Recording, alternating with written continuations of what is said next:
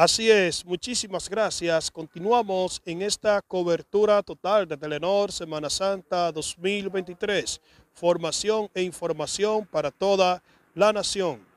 En esta ocasión me encuentro en el tramo carretero San Francisco Nagua, específicamente en el local DOCA La Codal de la DGC de esta comunidad, donde podemos ver el tránsito vehicular en esta zona es prácticamente nulo durante la mañana de este domingo de resurrección. Recordemos, señores, que este tramo carretero es el que conduce hacia los municipios de nuestra provincia Duarte, como también las zonas costeras, donde las personas optan por desplazarse hacia los diferentes eh, municipios y balnearios para disfrutar en familia este asueto de la Semana Mayor.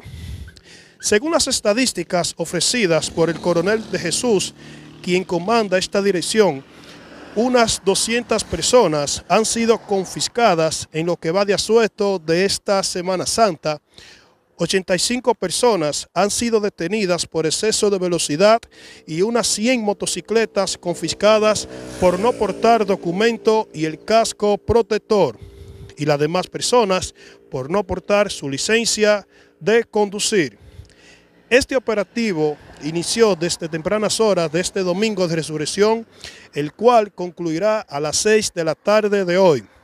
Además, el coronel de Jesús alertó a los ciudadanos que desde hoy que en pie piensan desplazarse por esta vía a que porten su licencia de conducir, como también su seguro de vehículo y manejar con prudencia para evitar accidentes de tránsito y otros hechos lamentables.